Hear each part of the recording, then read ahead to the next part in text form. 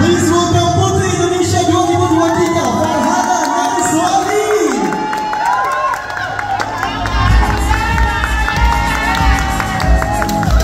Luar biasa, silakan Farhana boleh duduk di tengah. Wonderful, cantik banget.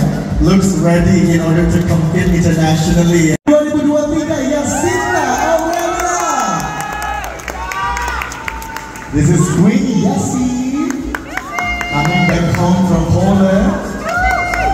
Duduk Yasin. Berikutnya ini juga gorgeous yang gak nahan. Lulu Zaharani. Tapi pun orang Lampung. Oke. Okay. Also joining us this evening, please, Putri Indonesia, Putri Modianti. Halo Putmot, selamat bergabung, selamat malam. Silakan Putmot, boleh duduk di sebelah sini. Luar biasa cantik banget ya Putmot ya auranya. Berikutnya of Putri Indonesia, Patricia Bella Olina. Luar biasa. Selamat malam. Silakan duduk Patricia. Oh, looking gorgeous. Hampir.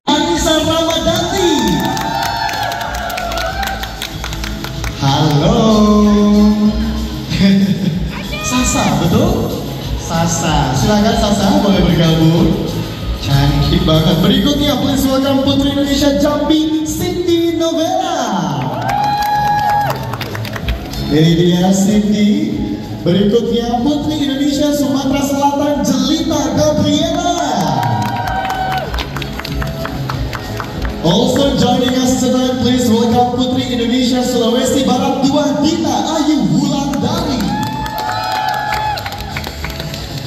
forget, we're also inviting Putri Indonesia Aceh 2 dan Top 15. Please welcome Inshira Mutia Kansa. Coming up next, please welcome Putri Indonesia Maluku Utara Kalista Sarah Tutuarima. Boleh berikan suaranya juga untuk Putri Indonesia Kalimantan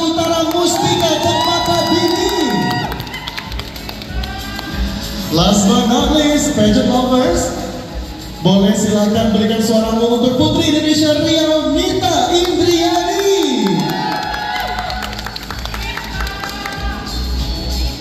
Ini dia kita bergabung. Boleh dong sekali lagi berikan tepuk tangan yang meriah untuk Putri Indonesia. Boleh kok di jalan, cantik banget ampun bangunnya. Aduh, gimana nih rasanya malam ini kumpul sama-sama? Ada perwakilan mau jawab? Senang banget dong pastinya. Kita kan terakhir kumpul. Ya mungkin eh, kurang dari ini ya. Cuman jarang gitu kan bisa kumpul sama teman-teman dari PPI kemarin. Terakhir mungkin kapan ya kita tugas bareng? Istana Wow, jadi ini kumpul-kumpul lagi. Tadi dipanggil satu persatu. Berasa lagi ini gak sih pengumuman top 15 barusan? Oke, setelah 4 bulan kurang lebih terpilih, benar? Gimana rasanya ternyata malam ini datang udah bukan sebagai finalis lagi, tapi sebagai Putri Indonesia, apa rasanya? sebelumnya aku mau menyapa dulu selamat malam Opal Games dan Pageant Lover Alhamdulillah senang sekali malam ini berada di sini seru banget karena malam ini Opal Gangs bertemu pageant lovers. Jadi semuanya ngumpul di Naufest ini ya. Em, Alhamdulillah kalau aku sendiri sejak diberikan amanah di crowning mendapatkan mahkota merah ini sekitar empat bulan lalu uh, life has been a roller coaster Oh, roller coaster ada manisnya, ada pahitnya, banyak berkunjung ke berbagai kota. Alhamdulillah minggu lalu baru sempat traveling dan bertugas ke Amerika Serikat ke New York Fashion Week. Ah, hari ini baru selesai photoshoot dan sebentar lagi insya Allah mau berangkat ke Jepang Miss International.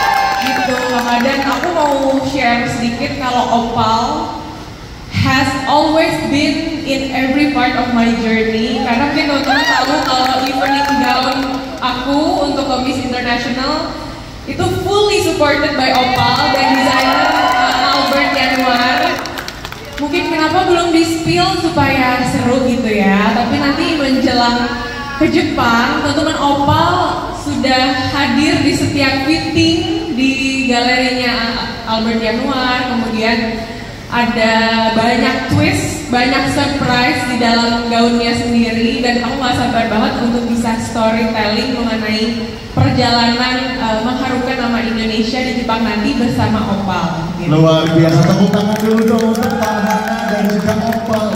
Luar biasa, ternyata dukungan Opal juga luar biasa ya untuk Farhana ya. Sedikit saya mau ke Lulu juga, Lulu cantik banget sih Lulu. Rahasia cantiknya apa Lulu? Mau tahu rahasia cantiknya kak? Rahasia cantik, rahasia cantik para putri pastinya Mustika Ratno ya sebenarnya.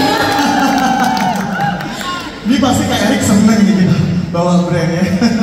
anyway, Lulu, Farhana, Diasi dan semua putri Indonesia karena kalian adalah putri-putri yang luar biasa. Saya tahu bahwa profilnya juga keren-keren. Tapi pasti Raja Lover juga kangen ya sih lihat mereka opening number. Apalagi kita lihat gimana opening numbernya Farhana goes to Miss International ya. Andriani, Putri Indonesia, Ria. Selanjutnya, Mustika Cempaka ini Putri Indonesia Kalimantan Utara. Kalista Putri Indonesia Maluku Utara.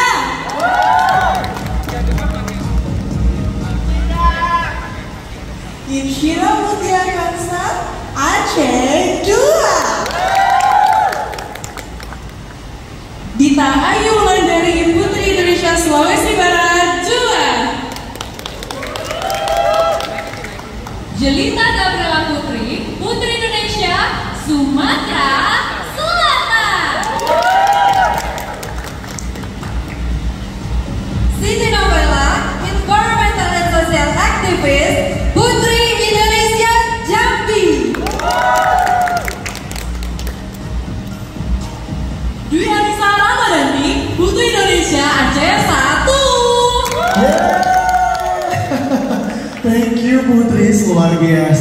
Kalau tadi kita udah dengerin yang bagian belakang, yang lima orang di depan, kita maunya sambil berdiri, bolehkan walk ke depan sini lalu gunakan stand lainnya.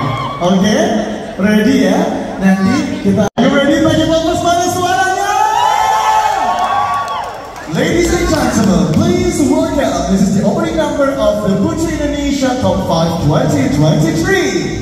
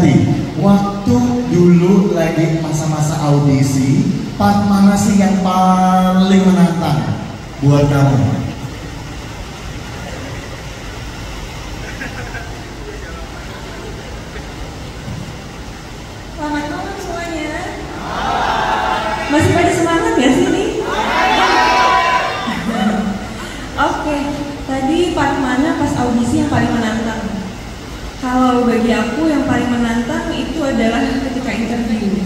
Karena di situ kita harus menjelaskan dengan baik diri kita dan harus pede dan juga berisi gitu. Jadi kita harus benar-benar tahu sebenarnya kita tuh value-nya apa yang mau diberikan ke sana. Karena kita juga harus menjelaskan advokasi kita saat itu apa. Kan. Luar biasa. Dulu itu seingat saya banyak banget teman-teman saya tuh yang menjagokan Putri Modianti juga. Banyak banget. Saya jadi penasaran apa sih yang kamu lakukan di ruang interview waktu itu? Yang dilakukan pertama perkenalkan diri sendiri, lalu lebih ke cerita sebanyak banget storytelling tentang kenapa aku akhirnya join Putri Indonesia awalnya apa yang menggerakkan hati aku dan apa yang biasanya aku lakukan sehari-hari aktivitasnya yang bisa juga menjadi eh, menonjolkan diri aku di Putri Indonesia ini gitu. Luar biasa. Tepuk tangan dulu dong buat Patricia dan juga Putma ya. We're going to represent our country within the next two weeks to Miss International. Apa vision yang kamu miliki untuk dirimu di sana nanti? Thank you for the question Kang Bayu. Ini akangnya alumni Jajaka Kota Bogor loh. Pageant ini juga ya, pageant alumni, Pa- pageant veteran. Jadi sekarang menghitung hari menuju keberangkatan ke Miss International. Sekali lagi terima kasih banyak Yayasan Putri Indonesia, Opal, Mustika Ratu untuk sudah menjadi support system yang sangat solid.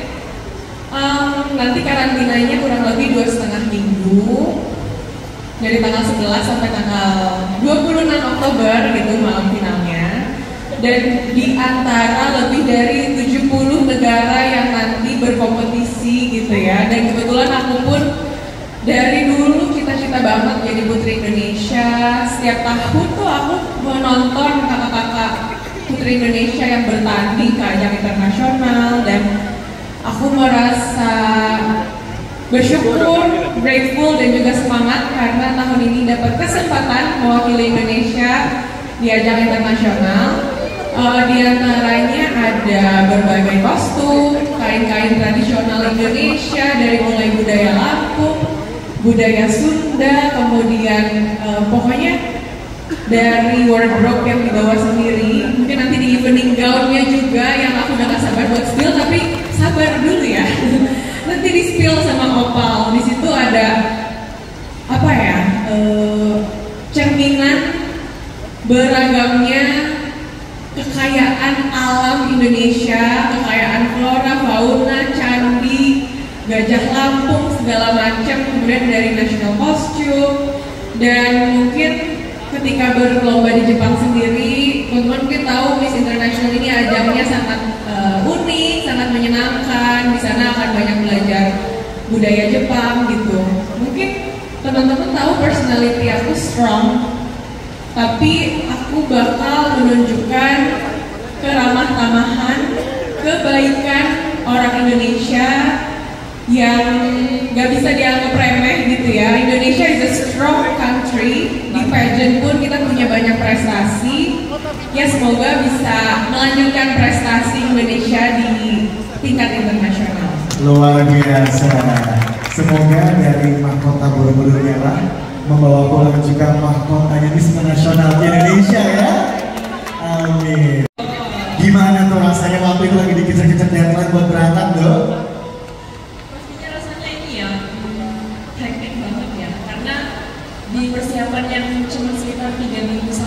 Sebulan itu ya sih dituntut untuk menjadi seseorang yang baru. Bukan seseorang yang beda ya tapi seseorang yang baru yang lebih mungkin lebih improve di somehow di public speaking di catwalk juga di cara ya merepresentasikan diri sendiri. Dan itu harus terkejar dalam waktu yang cukup singkat. Tapi alhamdulillahnya di waktu yang sesingkat-singkatnya ya sih bisa memaksimalkan segala waktu yang ada untuk benar-benar training dan belajar hal baru. Jadi dalam tiga minggu sampai sebulan itu ya Pak dalam kurun waktu yang segitu itu benar-benar tiap pagi jam 8 jam 7 udah start gym. Terus lanjut mungkin marketing atau mungkin perawatan dan lain sebagainya. Terus dilanjut ada kelas catwalk sama kalau malam itu selalu kelas public speaking dan itu semua udah disediakan udah difasilitasi oleh Yayasan Indonesia sekarang itu terima kasih. Dan itu menjadi hal yang cukup berat pada saat itu ya karena bebannya sebelum-sebelumnya Miss International Indonesia kan membawa prestasi yang tinggi juga. Cuman dari situ ya sih terasa kalau misalnya dari tiga minggu ini nggak ada yang nggak sia-siain sama sekali. Benar-benar tiap disuruh training ini itu itu selalu ya kerahkan semuanya selalu all out dan nggak ada kata skip kayak aduh kak lagi mager aduh kak lagi sakit aduh nanti dulu bentar nggak ada sama sekali alhamdulillah dan untung banget ini yang paling bikin beruntung selama persiapan dengan jadwal yang sampai kayak gitu selesai ke jam 10 jam 11 malam tiap hari itu alhamdulillah ya sih sehat walafiat ngejalaninnya. Alhamdulillah, ternyata tetap kuat, tetap sehat ya. Teman-teman tahu gak sih ada satu fun fact, mungkin ada yang udah tahu juga, tapi ya sih Farhana dan Lulu, waktu malam final selesai mereka crawling, masih ada banyak banget agenda. Katanya kalau nggak salah zero hour sleepnya, pagi-pagi buta udah make up lagi buat photoshoot seharian barengan sama uh, Queen Queen internasionalnya. Kemudian saya ingat banget waktu itu yang terakhir banget interview itu adalah Yasi paling malam sama Opal Gangs juga di apa di busnya itu. Itu tuh udah jam 8 jam 9 malam setelah belum tidur dua hari tapi tiga-tiganya masih giving their best. Luar biasa banget, terbukti memang endurance kuat-kuat semua ya. Thank you ya for sharing. Lulu, sedikit. Jadi trik sewu. Jadi ngobrol ya. Lulu, gimana rasanya seorang Lulu, ya kan? The youngest, wah, ah, paling muda, kontestan paling muda di Putri Indonesia tahun ini? Iya, paling muda. Jadi kalau ya sih 19 tahun tapi Oktober, aku 19 tahun tapi Desember. Lebih muda lagi. Ternyata terpilih jadi Miss Child Indonesia. Mimpi nggak sih Lulu? Eh, gimana ya kak? Sebenarnya mungkin aku mau cerita dari awal banget perjalanan aku boleh ya kak? Boleh. Jadi eh, perjalanan aku Putri Indonesia is not my first beauty pageant. Aku sudah mulai meniti karir aku itu dari tuh namanya Muli Menganai. Jadi untuk sampai di Putri Indonesia itu banyak sekali support dari orang-orang. Karena tadinya tuh kalau teman-teman tahu eh, beberapa cerita aku, aku tuh mau jadi Argentina Legend. Serius. Ya, jadi tahun kemarin itu aku masih daftar di Sekolah Tinggi Intelijen Negara di daftarnya di Jakarta, masih pendaftaran dan segala macamnya. Dan ternyata Tuhan itu belum kasih rezeki itu untuk aku. Terus kebetulan lagi ada pembukaan pemilihan Putri Indonesia daerah Lampung. Nah, jadi teman-teman yang sebelumnya support aku di Budi Makanai, karena mereka yakin sepertinya Budi ini punya kesempatan untuk eh, bergabung dengan Putri Indonesia. Akhirnya dengan penuh pertimbangan, dengan penuh masukan juga dari teman-teman lainnya, akhirnya aku ikut memberanikan diri untuk eh, mengikuti pemilihan di Provinsi Lampung dan alhamdulillahnya terpilih mewakili Lampung di tingkat nasional. Dan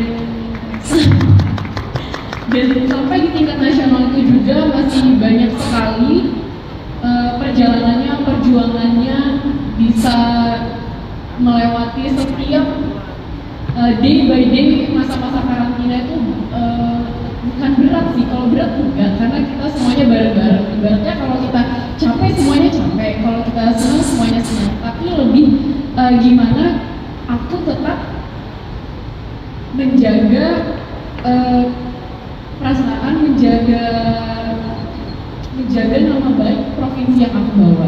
Seperti itu.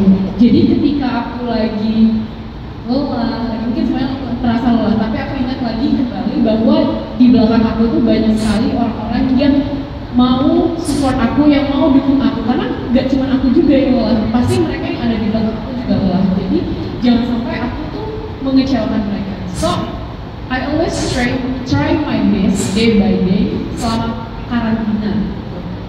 Dan karena uh, dari aku ikut Muri Mahanai I strongly believe that success not just talking about me, but we. Jadi banyak sekali eh, orang-orang di belakang aku yang harus juga bangga dengan aku seperti itu. Jadi the youngest finalist is no problem for me, tapi aku harus terus memberikan untuk mereka sehingga bukan bermimpi tapi lebih termotivasi eh, oleh orang-orang yang ada di balik aku seperti itu. Ladies and gentlemen. Wow. I strongly believe that Lulu is about to achieve such a really good achievement, inshallah, di Miss Chang. Karena jujur pada waktu melihat Lulu pertama kali interview itu H plus ya. Wow, ini cantik banget. Pasti nanti bisa lebih matang lagi. Malam ini sudah mulai bertransformasi, setuju ya? Wah. Dan tadi kalau Lulu bilang kita memang uh, kira-kira padat sih, tapi kayaknya nggak berat karena bareng-bareng. Saya bisa lihat bagaimana mereka saling support. Barusan aja Patricia bantuin Lulu. Itu tuh dari hati. Itu tuh watak dan kata orang loh. Tepuk tangan dulu buat Patricia. Simple thing. Ya itu itu loh. Attitude keren banget. Oke, sekarang saya mau tanya sama putri-putri yang juga ada. Aku memberanikan diri untuk daftar Putri Indonesia dan siapa sangka alhamdulillah bisa terpilih menjadi perwakilan Aceh 2 dan alhamdulillah banget senang. Karena tahun ini Aceh memiliki dua perwakilan aku dari Kasasa dan alhamdulillah juga bisa dipercaya menjadi top 15 untuk tahun ini karena Aceh sudah tujuh tahun tidak place di Putri Indonesia. Luar biasa, pemecah rantai Agnes ada di Insyira ternyata. alhamdulillah.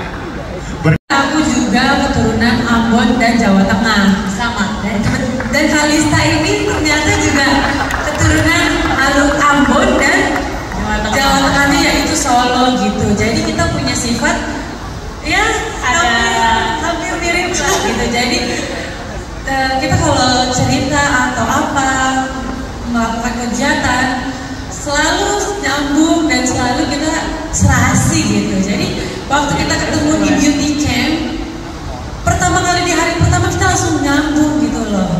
Dan sampai sekarang masih seterusnya dan aku berharap untuk kita berdua untuk ke depannya di Putri Indonesia ini kita bisa menyebarkan sesuatu yang positif untuk Putri Indonesia. Seperti itu. Dan kita sama-sama berkem- berkembang. Mengembangkan em, kita punya ya hal baik seperti itu. Doa Luar baik kita dan saya.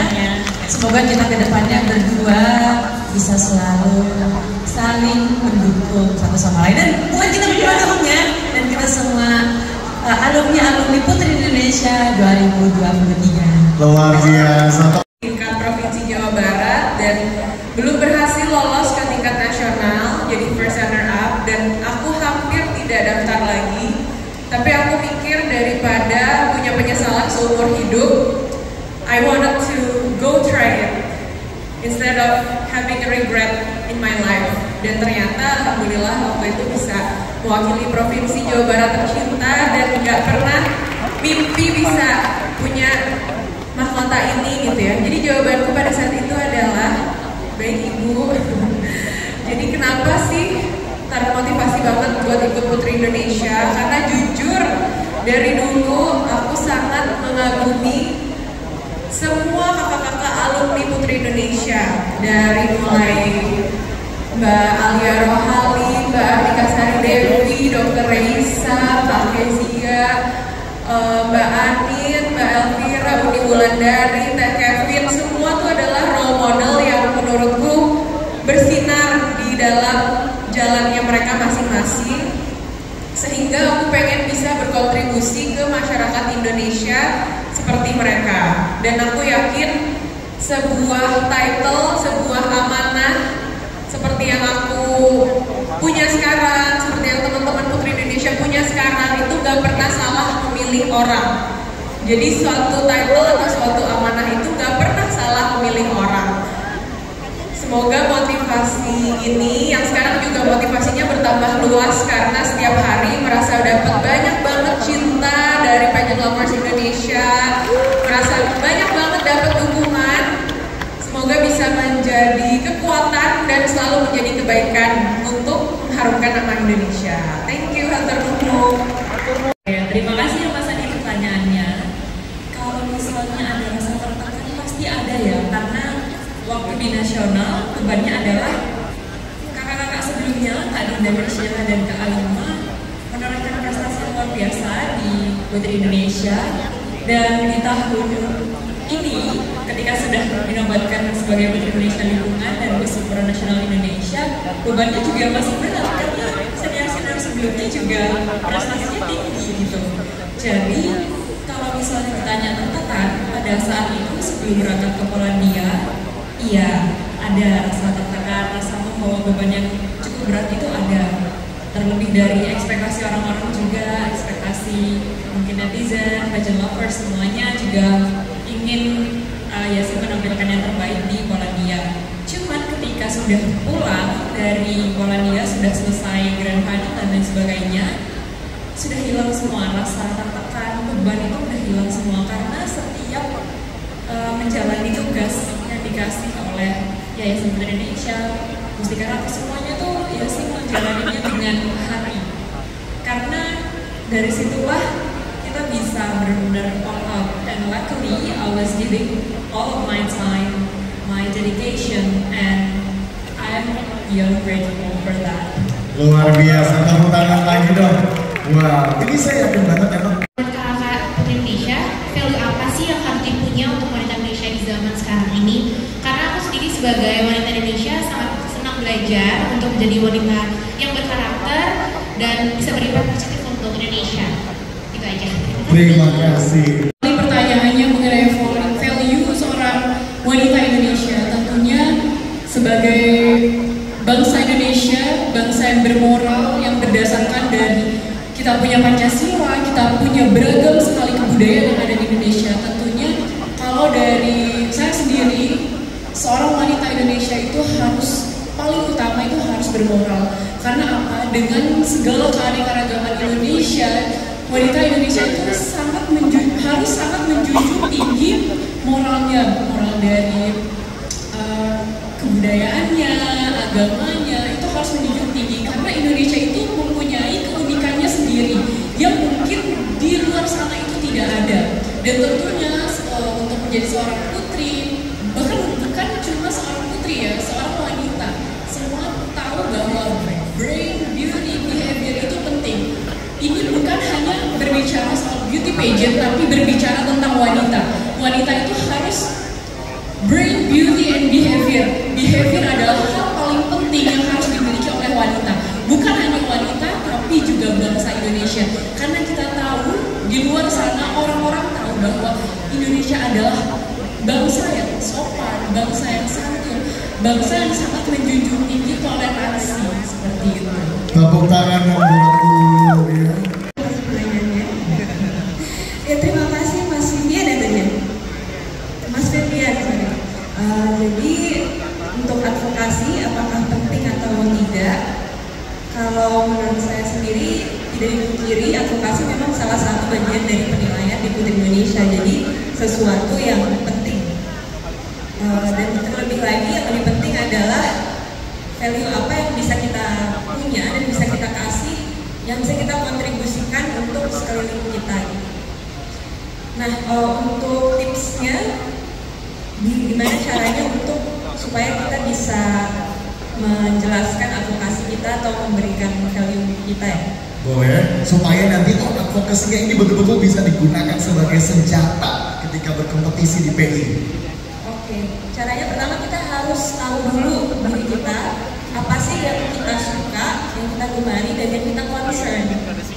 Kalau aku sendiri pribadi waktu itu concernnya emang ke masalah lingkungan karena memang juga bekerja waktu itu di salah satu startup pengelolaan sampah dan e, berangkat dari situ dari kecemasan diri sendiri atas masalah lingkungan, masalah sampah, akhirnya aku membawa tema itu ke Putri Indonesia. Jadi kita harus tahu apa sih yang kita gemes di kehidupan sehari-hari kita dan kita mau menjadi bagian dari solusi tersebut.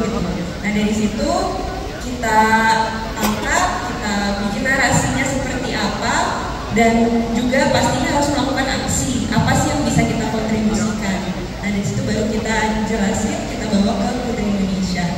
Luar biasa, simply implementing your true calling gitu ya.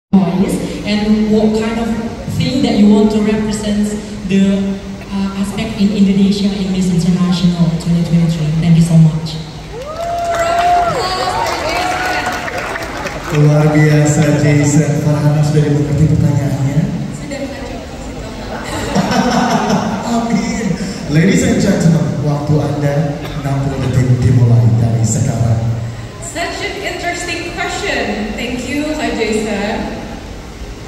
Um, I know that a lot of people have a certain opinion about me going to Miss International, but did you know that besides having a strong personality, Sundanese women like me are also known for having that grace and softness that we can present to others.